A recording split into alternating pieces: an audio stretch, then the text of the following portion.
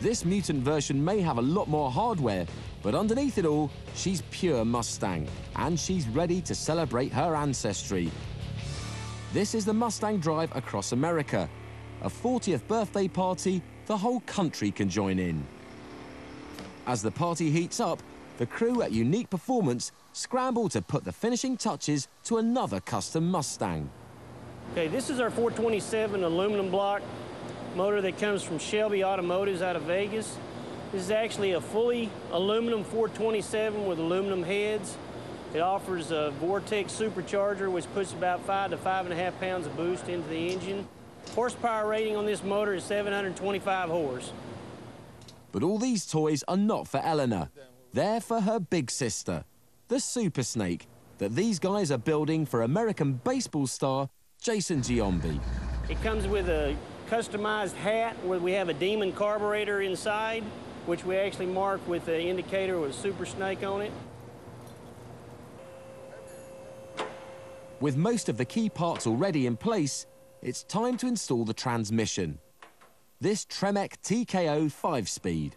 The TKO is a little stronger transmission, taking more of the horsepower and the torque.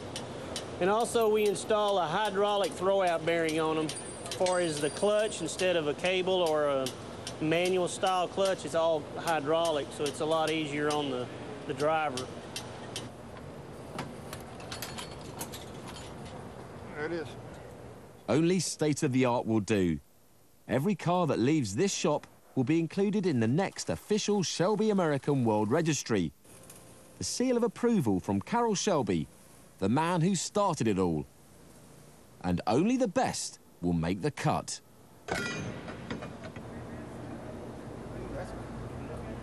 They strengthen the drive shaft with a few welds to the U-joint.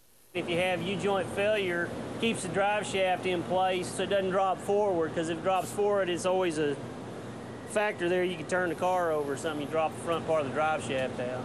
Not good, especially at 260 kilometers per hour. They install an H-pipe to the front end of the exhaust system. It's specially designed to help equalize the pressure on the engine. There you go. Next on the list for a makeover, the suspension. Okay. Watch your fingers. They install a high-performance front end featuring fully adjustable shocks.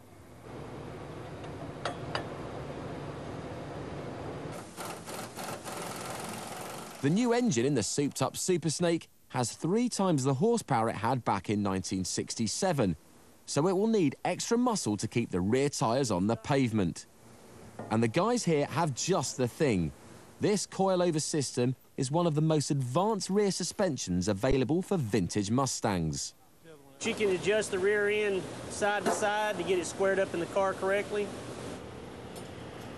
Drive it home.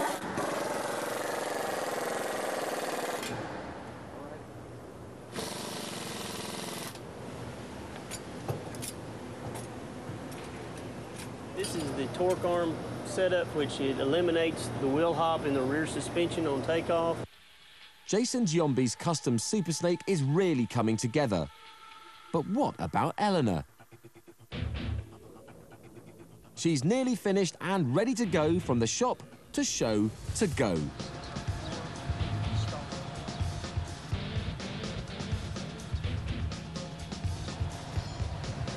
Vintage Mustang fans are hard to please. And when Unique Performance first started making the Eleanor, not everyone liked the idea of turning classics into show cars. You know, early on in, in, the, in this project, we took a lot of flack early on. Now, we're not, we're not getting that. Uh, we're, a lot of people are really seeing what we're all about. They're, they're being educated uh, from how many cars we're actually building. And they're, the visitors that we get into the facility and they see the kind of cars that we are taking apart and bringing back, that we're really doing something good, uh, you know, in the, in, the, in the vintage car world. These cars that we're, we're taking are cars that ha have not been put on the road. These cars are cars that would probably sit there and rust uh, to a point where they can't be repaired and brought back. And those who want an Eleanor of their own had better get a move on. Unique is limiting its production to just 475 cars. As the project has taken hold, I have people throughout the country that, that may have a car in the garage, may have two that their father had, that knowing this project, knowing Carroll's behind this, they're wanting to send their vehicle to be converted into an Eleanor. And what better comeback than to make it as a movie star? When I get someone on the phone, knowing, just finding out that we are doing this car for Mr. Shelby, it's just like a, a kid in a candy store. And the candy store includes all sorts of cool custom rides, including Eleanor's little sister, this Shelby GT350 SR. With a 350 horsepower V8 engine, she's not quite as fast as the movie version. But this little racer is pure Shelby. And she still packs quite a punch.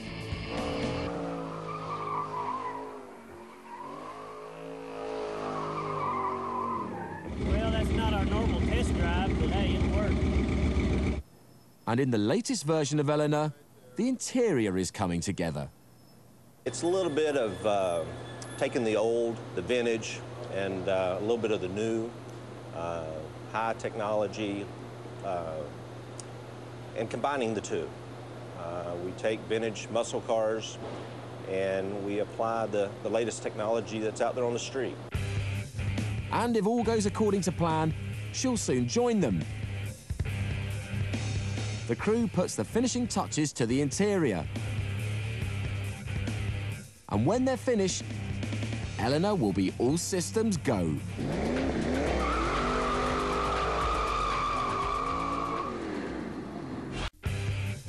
The finishing touches are put to the inside of this Mustang turned movie star, a car just like the one codenamed Eleanor in Jerry Bruckheimer's Gone in 60 Seconds. Like most items on this ride, the interior will be chock full of the latest and greatest custom touches. You got a Shelby steering wheel. And in homage to her creator, the crew applies the official Shelby badge. The last final stroke, when they were all together, was kind of rebadging them basically so that you knew that they were a Shelby. So I kind of went in and had all the little reproduction emblems that knew where they went on the stalker and uh, just kind of said, you know what, but proportionally it's like works better here, putting the big snake on the on the front fender. That's kind of where they where they are now when these in these secondary market cars are all in the same places I put them that one day with double stick tape. It had better look official. Carroll Shelby, the father of the original Mustang, won't put his name on just any old car. He's been very influential in the project, and I, I would almost say to a degree, hands-on. Um, his fingerprints are all over this car. It has more than just his fingerprints. It has the ultimate seal of approval. An autograph fascia, hand-signed by Carroll Shelby himself. And true to the movie version of the car, this Eleanor gets a nitrous button in the boot. One blast of this will boost the engine by at least 100 horsepower. Now for one of my favorite aspects of the car. It's our Go Baby Go button. Got our Shelby insignia. Most people recognize it from the movie. Little clear cover. Snap it into place. You're ready to go.